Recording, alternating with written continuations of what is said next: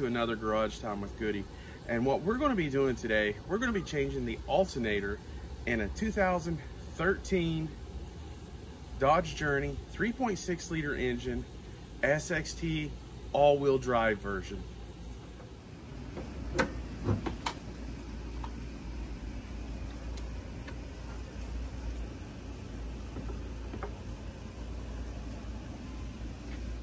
And I have my arsenal of tools to help me. And they're growing. Got a torque wrench now. And because of viewers like you my tools are growing. And I'm gonna be able to do more videos like this. So thank you guys. Okay the first thing you need to do is to remove this plastic cover off the top of the engine. And it just pops up just like that and I'm gonna lay it to the side.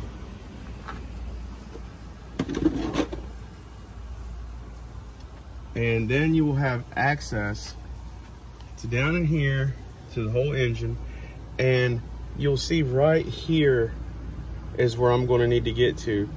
That is where the alternator is and you can see that there are these radiator hoses. A lot of people will do this in different ways and I'm not going to drain the fluid.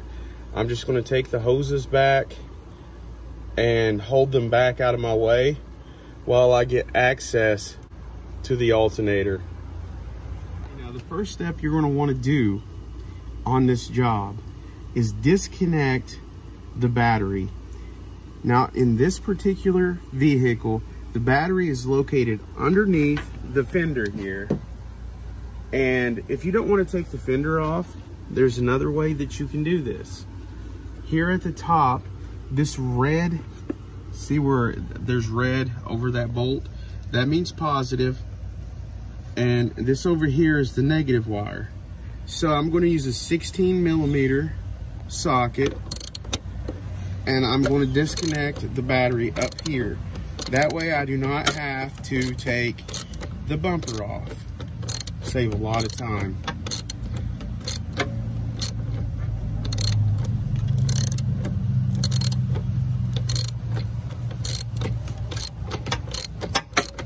Nut off and lay it right here. I'll take this, this just comes up. Remember the way these goes on. The one closest, this one, goes on first, and the one on top goes on second. Now put those out of the way. Now I'm going to take off the negative And the reason why I am doing this is because when you're working on the alternator and you're going to take off the the wires, the wiring to the alternator, there's going to be live current going to that and you don't want to get shocked. It could possibly mess up your car and really make for a bad day. Okay, so that is out of the way. Okay, I've debated with this hose right here of which way I'm going to take it off. And I'm going to take it off up here because some fluid is going to leak out. And I want this to be upward because if, if I take this off up here and I hold this hose up, then there's nowhere for the fluid to go. So it's less likely that more is going to leak out. So I'm going to take needle nose pair pliers and there is a clamp here it's connected to the radiator.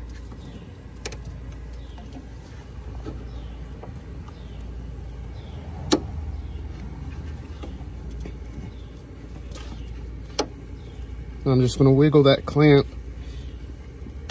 back. See that clamp coming back? Now you don't want to pull too hard and you don't want to be too rough with it because you this radiator is pretty much plastic. You just want to be gentle and, and move it back and forth. And you saw that little bit amount come out. And this is completely rubber here. So I'm gonna take this underneath of here. Gonna push this up and back as far as it can go. But you're starting to be able to see the alternator a little better. So I'm now gonna take this hose off. Looks like it goes to the overflow and I'm gonna move it back. Okay, for this one, I'm gonna use channel locks because it can get to it a lot easier.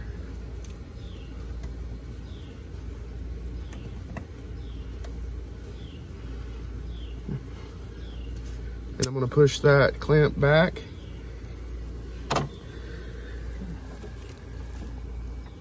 Back and forth until it comes off. And again, be, be slow and persistent with it. And a little more fluid will come out. But make sure that these hoses are up out of the way. You can even use a bungee cord if you want to, to keep those up and out of the way. Or you can just leave them back like this, which is what I'm gonna do.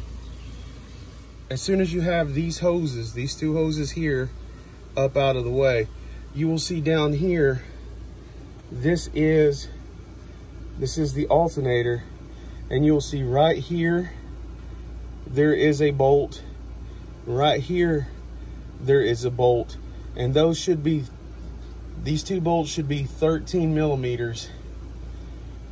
And there's also one back behind there, which we can't see yet. The next step you're gonna wanna do is you're gonna come to the passenger side of the vehicle and it's going to need to be jacked up. So make sure you have a hydraulic jack and don't forget a jack stand.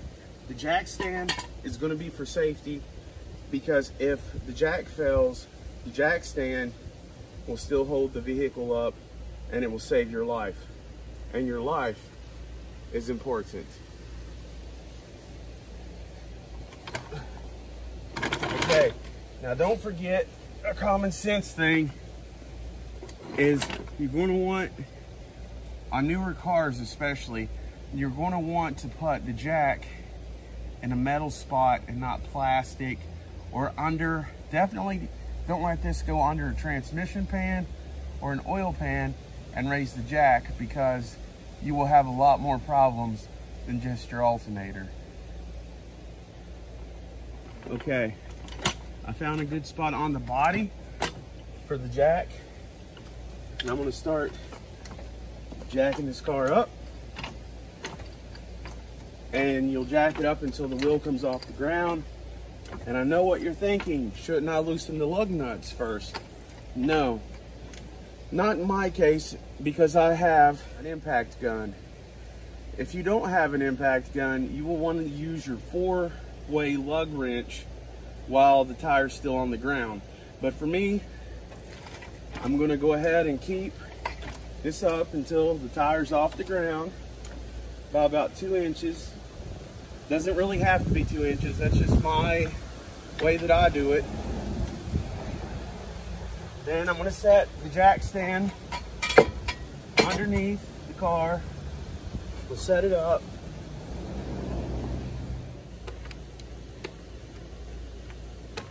make sure you put the lug nuts where you're not going to lose them and then take, take the tire off and set it to the side.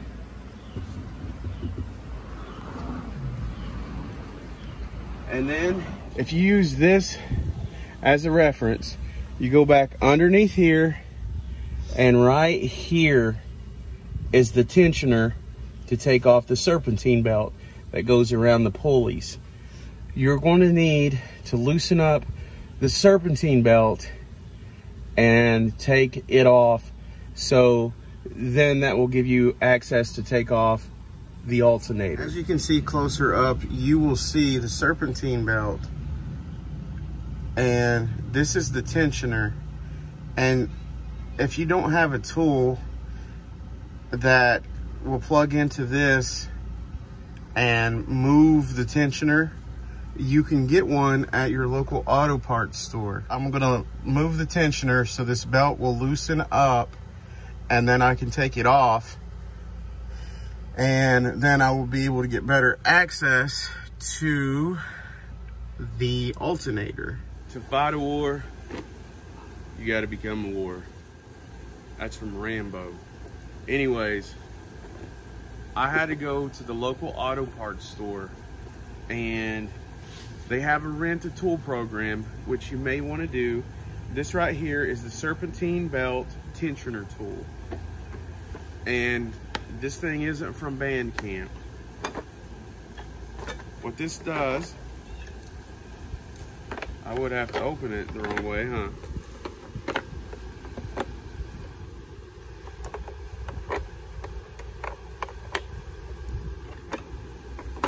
What this thing has is this.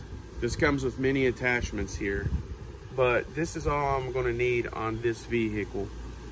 If you need a little bigger attachment, it comes with this. If you need any sockets or wrenches, it comes with that also.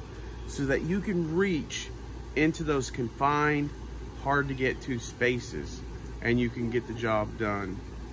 Okay, now that we're underneath the car, you can see that I have the tensioner tool and I'm going to put the tensioner tool on. Now, what a lot of people want to do, what you should do before you take the serpentine belt off is make sure you know how it's on and draw a diagram if you have to or take a picture with your phone because it's going to have to go back on. And sometimes this is the hardest part of the whole procedure is putting the serpentine belt back on okay so you want to uh, push it to the left. Remember lefty loosey righty tighty and you see the serpentine belt is loosening up and I'm going to take it off of right here. See, it's coming off of this pulley right here. And then I'm gonna let the tensioner back up and then this should give me enough slack to take it off of the pulley of the alternator. Okay, next, since we have the slack out of there, you can see the pulley to the alternator. There is slack. I'm just gonna take this serpentine belt right off of there. I'm taking it off the pulley just like that and then I'm going to have more access to the alternator now. See, there is two 13 millimeter bolts right here. There's one, there's one. And then as you can see down in here where the flashlight is pointing, that is the last 13 millimeter bolt that's holding in the alternator. And we're gonna be taking that one out. There is this line right here that you wanna be aware of. This is an issue that I'm running into it's just barely in the way and you want to put your ratchet behind it and come from behind that and hook it to the the bolts and you'll have no problem and that's what I'm doing. And it's clearing it no problem.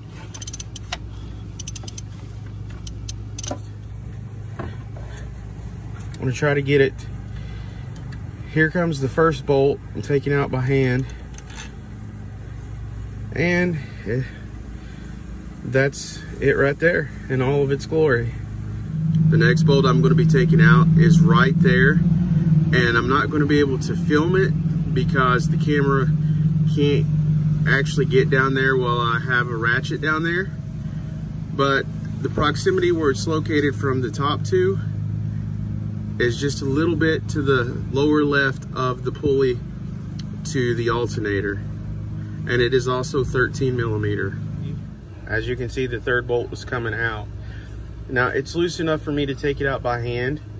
Uh, another tip that you can do is if you have that last bolt loosened a little bit, the third one, you can actually hold the alternator by hand. And if you need to, move the alternator up and down, uh, it, you know, to make the bolt come out easier that's one tip you can use if it feels like it's stuck on you. So I now have the second bolt that's coming out and that's what that one looks like. And I'm gonna set it up here out of the way. And then now I'm gonna take this third one the rest of the way off. As you can see, the alternator is pretty wiggly by now. We're gonna see exactly how this baby comes out.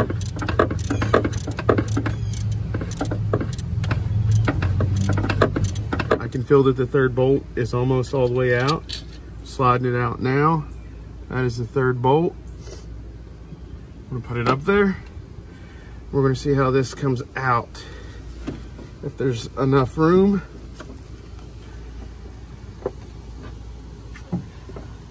So here's the pulley. And there's the metal.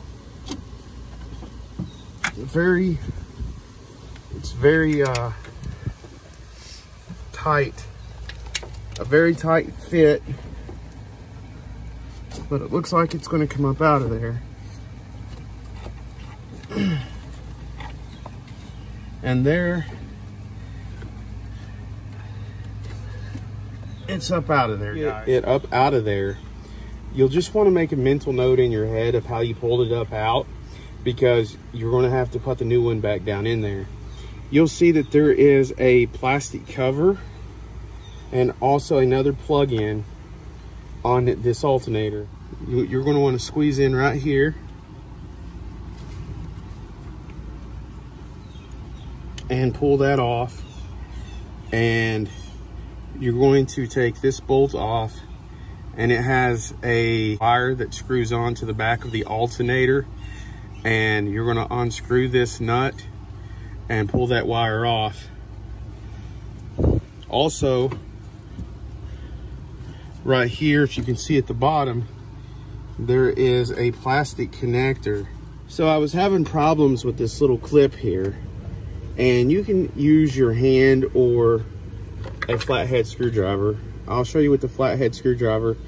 You'll want to not do this too hard, but just kind of slightly push down and out, and that'll get that red tab out. And then as you can see, once the red tab is back, you'll see that there is a black tab right in the middle now. You want to push down on the black tab and then pull it out. And then eventually it comes unplugged just like that. But don't get frustrated and don't give up. You can use a wrench, but I'm gonna be using a deep well socket, a 13 millimeter, to remove this wire from the back of the alternator. On there pretty tight. And that's gonna get it to come right off of there. You can see that. I'm gonna do the rest of it by hand once it's broke loose. There's the nut. And importantly on this, there's also a washer. You do not want to lose the nut or the washer. And then you take the wire off and then you pull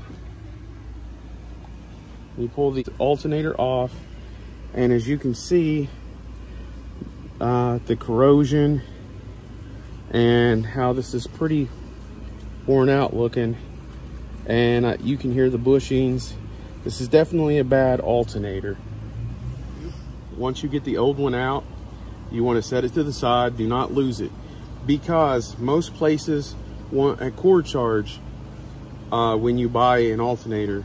So when you take this back, you're going to get money back quite a bit. On this one, I'm going to be getting $30 back. Uh, it could be more or less in your situation. And they usually take these in and rebuild them. You're going to have to get a replacement part. And that's what I've done. And when you're getting the replacement part, you have many options.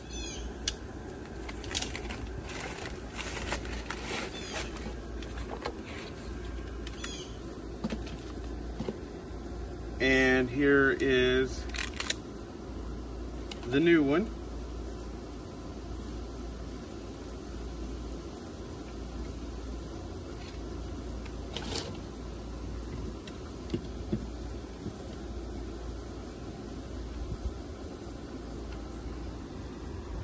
And you compare compare the old one and the new one. See how there's two bolts, holes in the front. Can you guys guess which one's the old one and which one's the new one? I know it's a dumb question. But as I was telling you, you want to keep the old one for the core charge that they'll give you money back. And on the new one, whenever you get a new one, you have many decisions. You can decide to get a used one at a junkyard, which you probably could get one anywhere between 50 and $100. You could get a remanufactured one, or you could get one from online, or you could get one from an auto parts store. If you get one from an auto parts store, like me, I have somebody in the family that works there.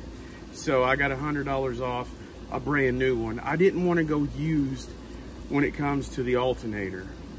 Other parts, you know, I'll get from a junkyard or whatnot, but when it comes to an alternator, I went with brand new. This new one came with a new 13 millimeter bolt and a new washer here.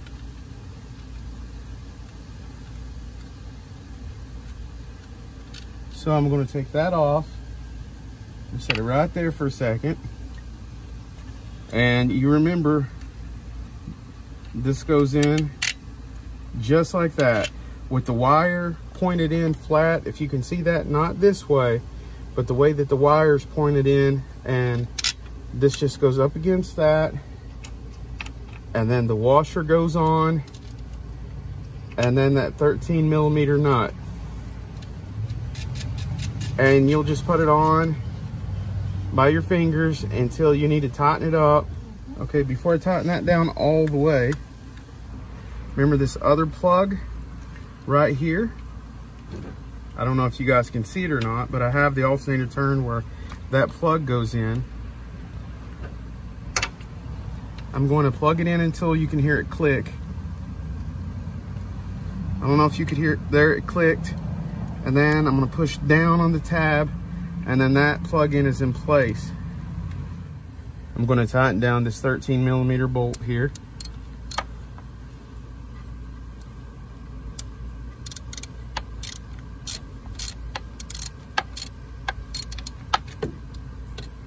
This wire should be pointed straight up and down right here. And I want to tighten this up. I'll put all the torque specs in the dialog box in the okay that one's tightened. And then as you can remember it has a plastic covering that goes over this to protect it from water and other particulates. Snaps on. You're going to want to clear this metal uh, hookup for the radiator. And this should kind of slide right down in there like that. And you're going to want to line these two holes up over here.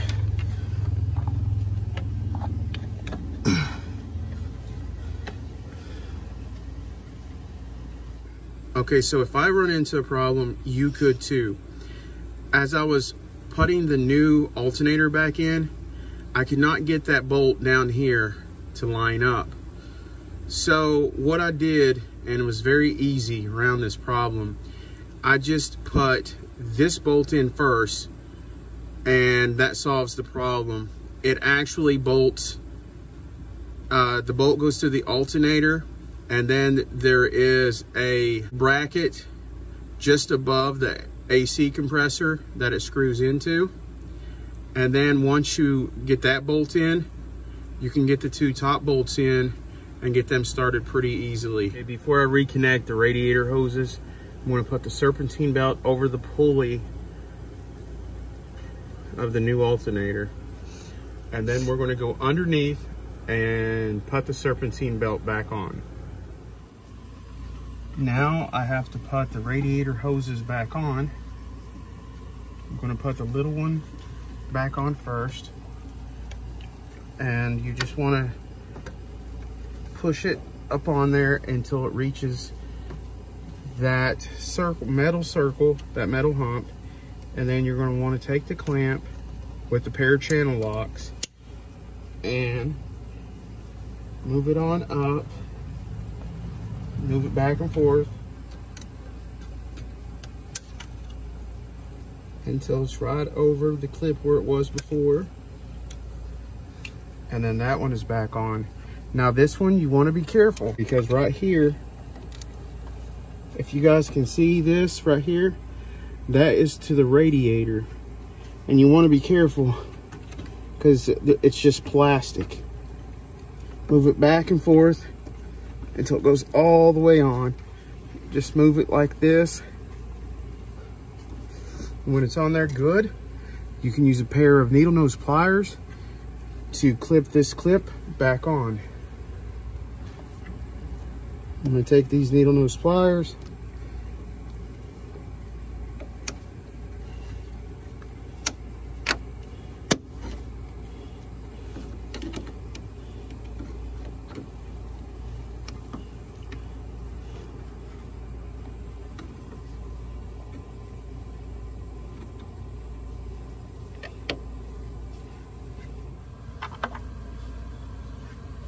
Make sure it's tight. Okay, now we're ready to hook the battery back up. I'm gonna hook the negative up first. Goes right here. It's gonna be 16 millimeter nut here.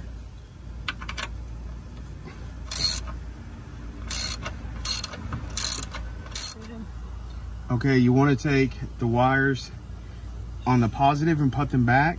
You want to take the one that's flat and closest to the front of the car and put it on first. Then you'll take the one that's kind of like up and pointed forward and put it over top that one. And then you're going to want to put its nut back on there and tighten it down. It is a 16 millimeter also. Also keep in mind that after this, everything is going to be reset in your car. Like your stereo and your clock. Also, when uh, common sense thing, when you're tightening this, you don't want to touch this to metal because it could arc or you could get shocked.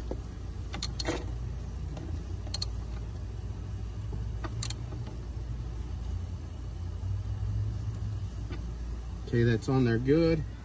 Okay, before you put the car all back together completely, you want to start the car and make sure the serpentine belt is gonna be okay and it's on there correctly.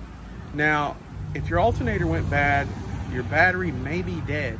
So you may need to get somebody to give your car a jump start or if you have a battery or a jump box uh, in order to start your car. So I had a battery charger and I already started the car and it's on there great. Next, you will want to start your car.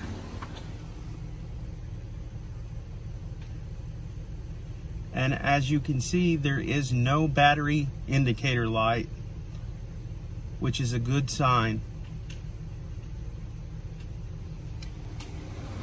Also, you'll want to see if the serpentine belt is on correctly.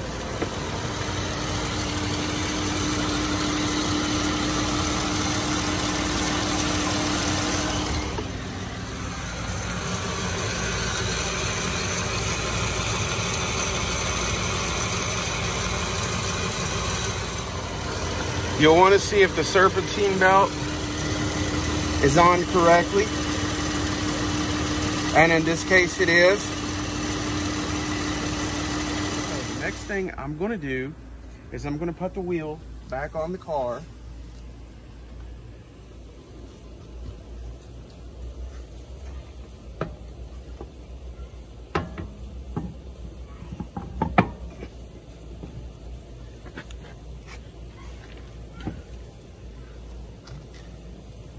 And I always put the lug nuts on in a, a diagonal pattern because I want it to go on like here and then here and then I'll put them on all the way around. I don't want it to go on crooked. That's just me. Something I do.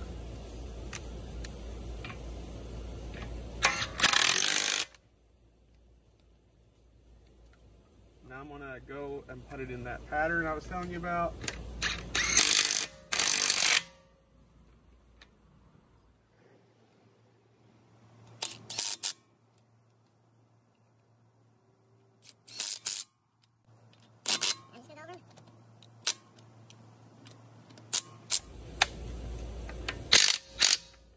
Okay, they're on there good. And since I put them on with an impact gun, I won't have to tighten them even more once I lay this down. Now, you take the jack stand out, lay it back. Then I'm going to let down the car from the jack. It's back on the ground. The next step should be putting on the plastic motor shroud, the cover that goes on here, and it just pops back on when you have it in place. And then you are ready to hit the road again. One last thing, where some coolant got out, you may want to take a pressure washer and clean your driveway or a water hose because antifreeze can kill animals. Make sure you clean that up.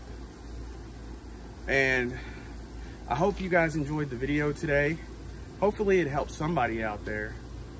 Uh, if you haven't subscribed yet, hit the subscribe button, smash the like button, leave some comments in the comment section below. And until next time, next video, have a good day.